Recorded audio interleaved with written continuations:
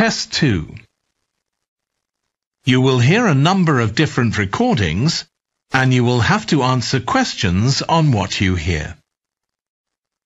There will be time for you to read the instructions and questions and you will have a chance to check your work. All the recordings will be played once only. The test is in four sections. At the end of the test, you will be given 10 minutes to transfer your answers to an answer sheet. Now turn to section 1.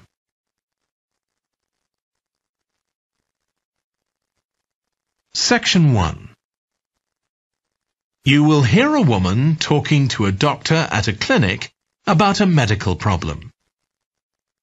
First, you have some time to look at questions 1 to 4.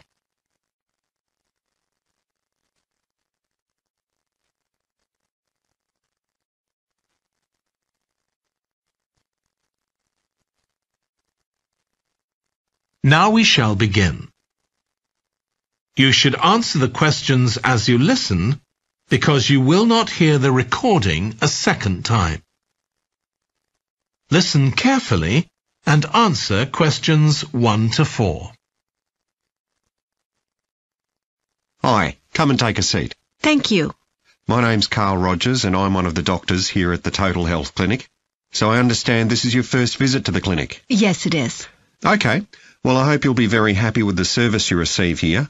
So if it's all right with you, I'll take a few details to help me give you the best possible service. Sure. So can I check first of all that we have the correct personal details for you? So your full name is Julie Ann Garcia. That's correct. Perfect. And can I have a contact phone number? It's 219-442-9785. Okay, and then can I just check that we have the correct date of birth? October 10th, 1992. Oh, I actually have 1991. I'll just correct that now. Right, so that's all good. Now I just need a few more personal details. Do you have an occupation, either full-time or part-time? Uh, yes, I work full-time in Esterhazy's. You know, the restaurant chain. I started off as a waitress there a few years ago, and I'm a manager now. Oh, I know them. Yeah, they're down on 114th Street, aren't they? Uh, that's right. Yeah, I've been there a few times. I just love their salads. That's good to hear. Right, so one more thing I need to know before we talk about why you're here, Julie, and that's the name of your insurance company. It's Cawley Life Insurance. That's C-A-W-L-E-Y. Excellent. Thank you so much. Before you hear the rest of the conversation, you have some time to look at questions 5 to 10.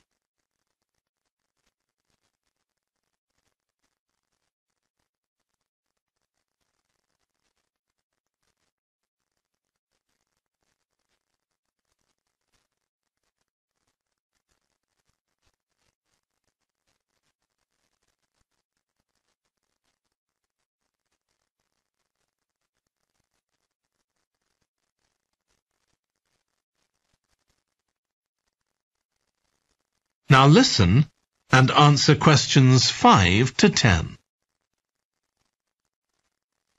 Now, Julie, let's look at how we can help you. So tell me a little about what brought you here today. Well, I've been getting a pain in my knee, the left one. Not very serious at first, but it's gotten worse, so I thought I ought to see someone about it. That's certainly the right decision. So how long have you been aware of this pain? Is it just a few days, or is it longer than that? Longer. It's been worse for the last couple of days, but it's three weeks since I first noticed it. It came on quite gradually though, so I kind of ignored it at first. And have you taken any medication yourself or treated it in any way? Um, yeah, I've been taking medication to deal with the pain, Tylenol, and that works okay for a few hours, but I don't like to keep taking it.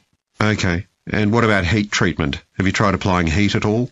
No, but I have been using ice on it for the last few days. And does that seem to help the pain at all? A little, yes. Good.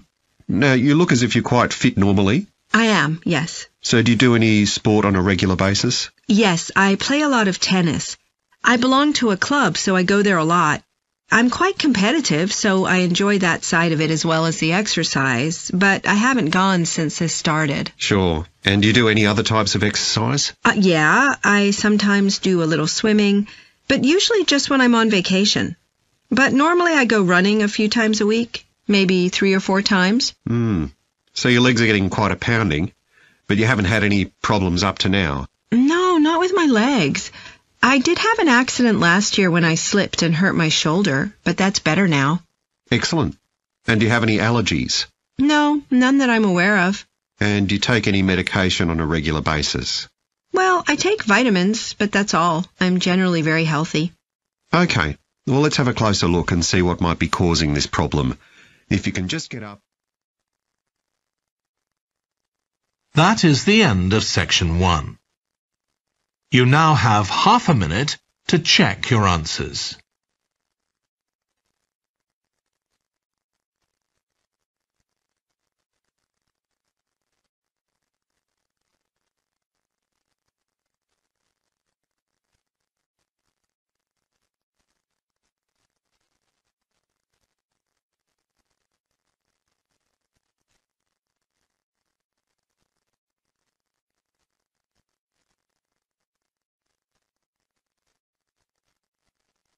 Now turn to section 2.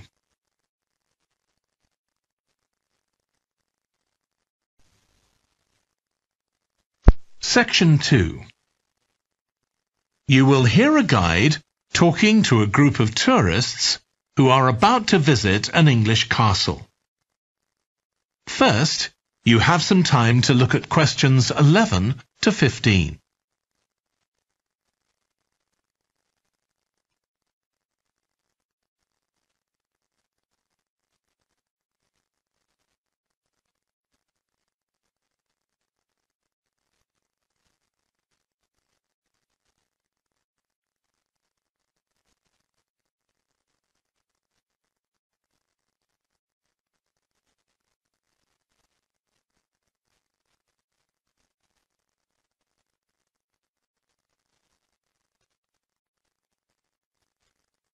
Now listen carefully and answer questions 11 to 15.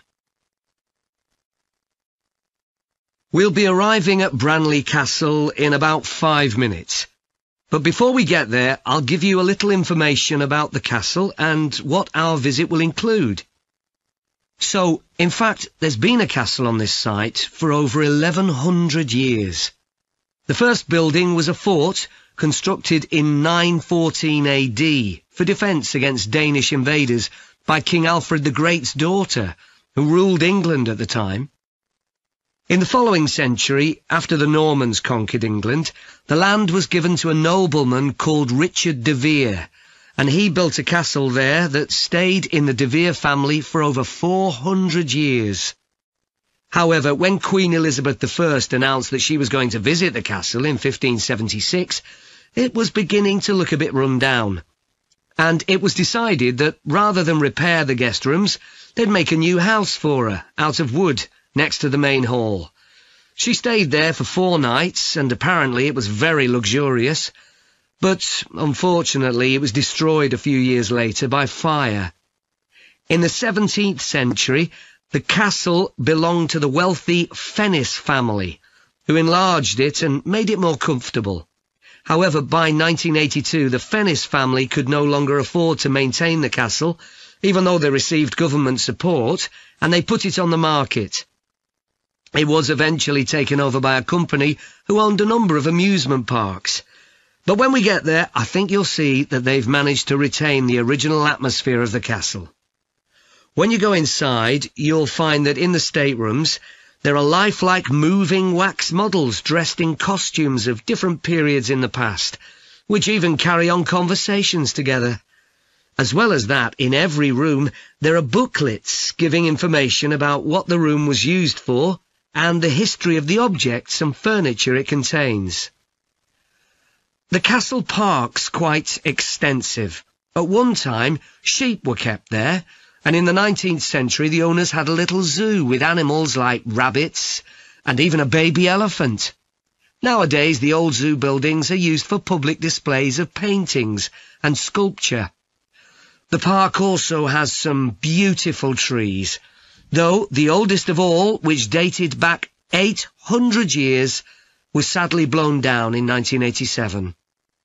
Now, you're free to wander around on your own until 4.30, but then, at the end of our visit, we'll all meet together at the bottom of the great staircase. We'll then go on to the long gallery, where there's a wonderful collection of photographs showing the family who owned the castle a hundred years ago having tea and cakes in the conservatory. And we'll then take you to the same place where afternoon tea will be served to you. Before you hear the rest of the talk, you have some time to look at questions 16 to 20.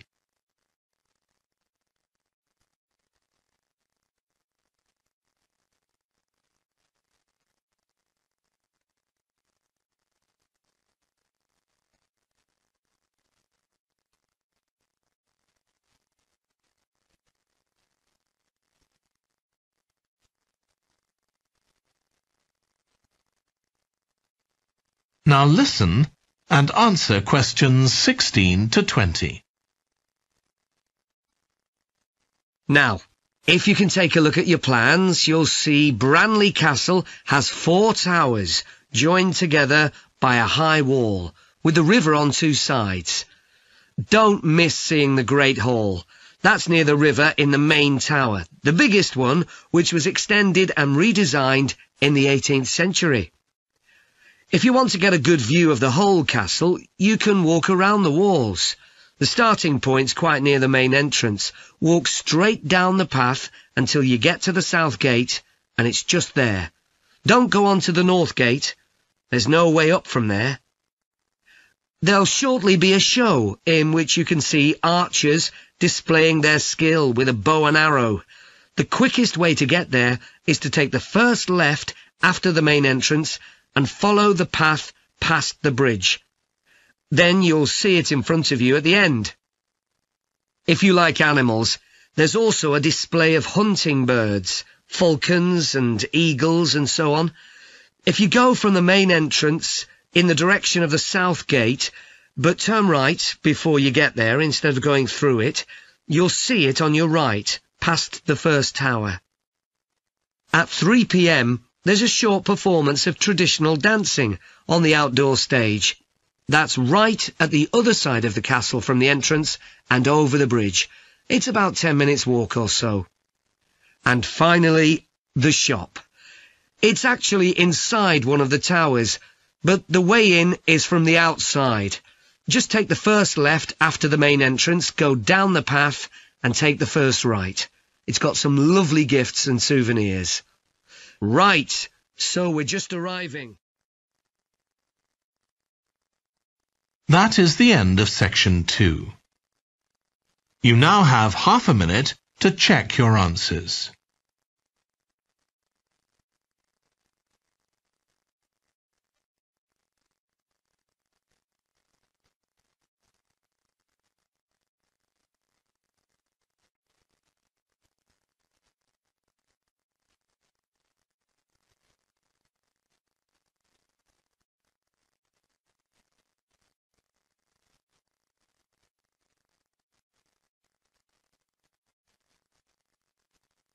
Now turn to section 3.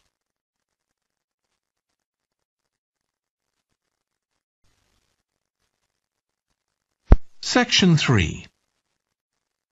You will hear two environmental science students called Rosie and Martin discussing their presentation on an extinct animal called the woolly mammoth with their tutor.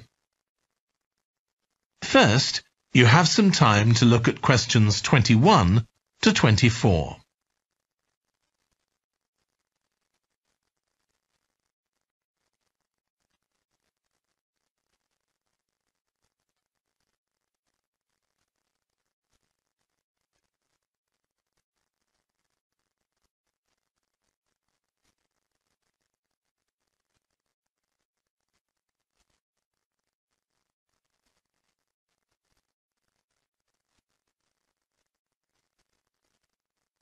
Now listen carefully and answer questions 21 to 24. So, Rosie and Martin, let's look at what you've got for your presentation on woolly mammoths. OK, we've got a short outline here. Thanks. Uh, so, it's about a research project in North America. Yes, but we thought we needed something general about woolly mammoths in our introduction to establish that they were related to our modern elephant and they lived thousands of years ago in the last ice age. Maybe we could show a video clip of a cartoon about mammoths, but that'd be a bit childish. Or we could have a diagram. It could be a timeline to show when they lived, with illustrations. Or we could just show a drawing of them walking in the ice. No, let's go with your last suggestion. Good.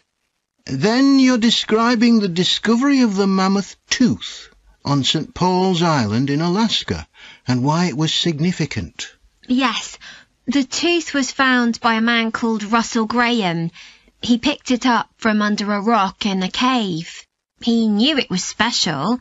For a start, it was in really good condition, as if it had been just extracted from the animal's jawbone.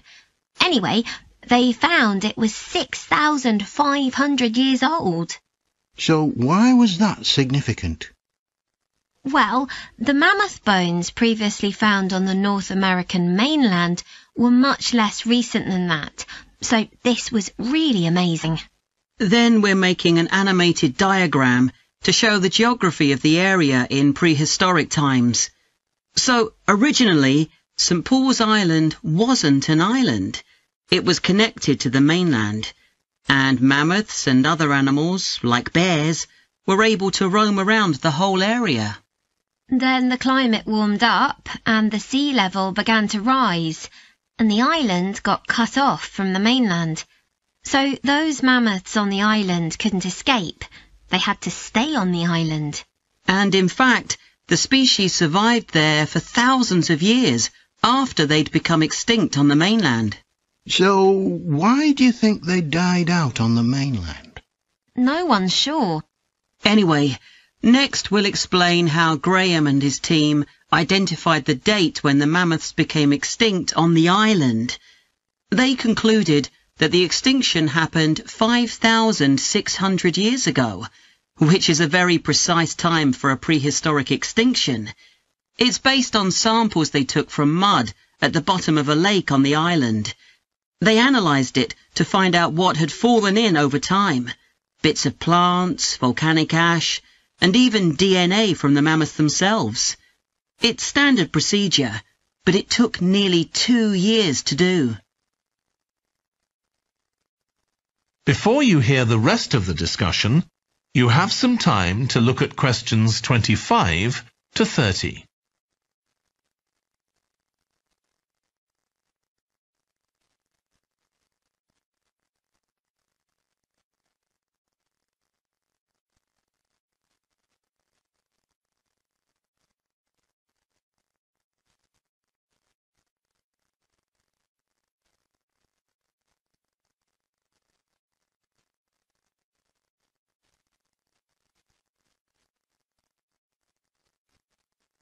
Now listen and answer questions 25 to 30.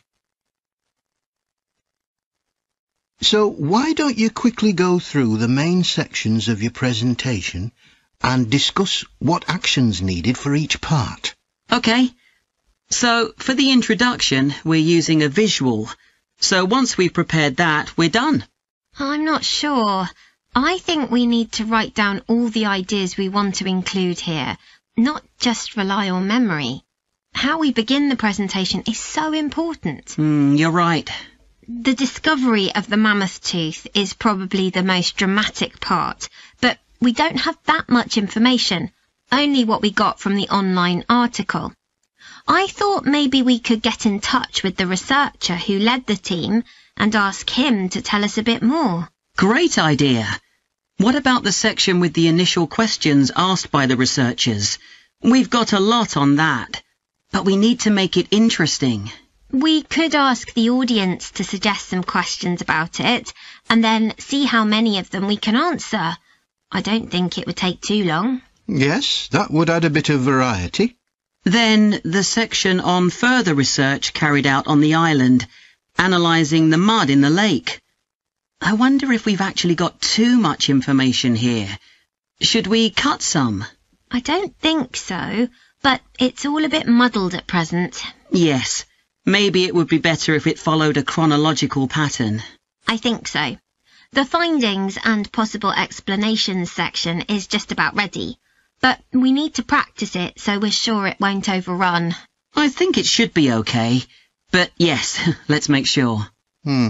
In the last section, relevance to the present day, you've got some good ideas, but this is where you need to move away from the ideas of others and give your own viewpoint. Okay, we'll think about that. Now, shall we show you some of the...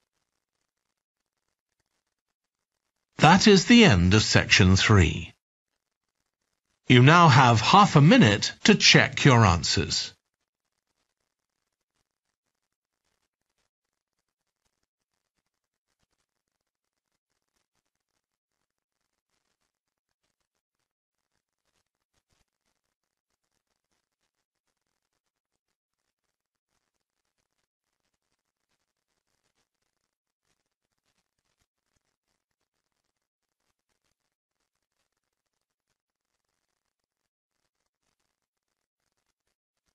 Now turn to section 4.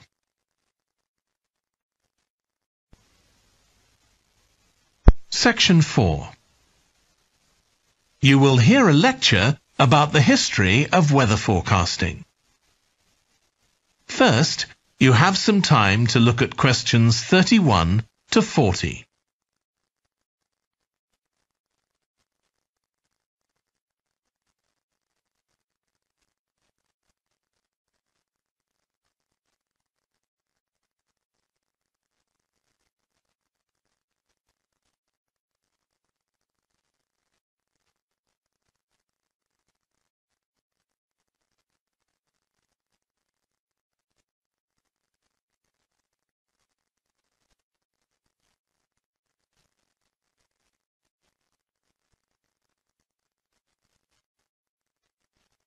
Now listen carefully and answer questions 31 to 40. In this series of lectures about the history of weather forecasting, I'll start by examining its early history. That'll be the subject of today's talk. Okay, so we'll start by going back thousands of years. Most ancient cultures had weather gods and weather catastrophes, such as floods, played an important role in many creation myths. Generally, weather was attributed to the whims of the gods, as the wide range of weather gods in various cultures shows. For instance, there's the Egyptian sun god Ra, and Thor, the Norse god of thunder and lightning, Many ancient civilizations developed rites such as dances in order to make the weather gods look kindly on them. But the weather was of daily importance. Observing the skies and drawing the correct conclusions from these observations was really important. In fact, their survival depended on it.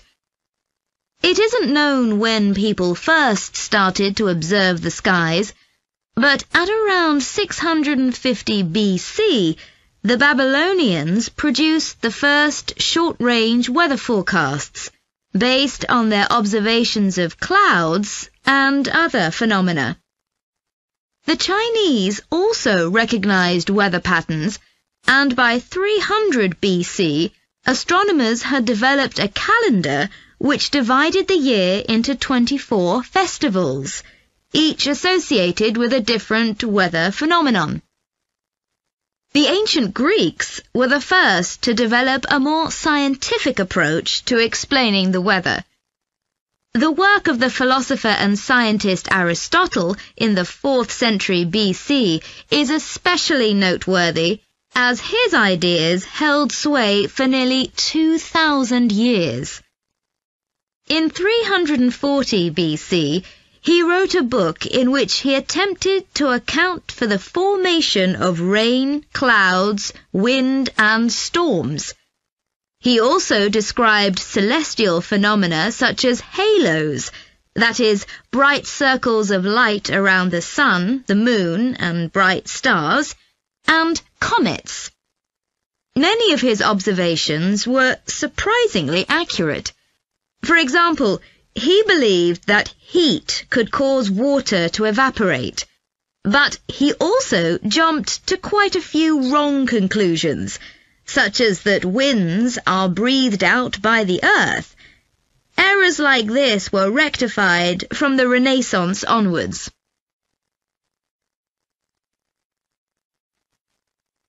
For nearly 2,000 years, Aristotle's work was accepted as the chief authority on weather theory.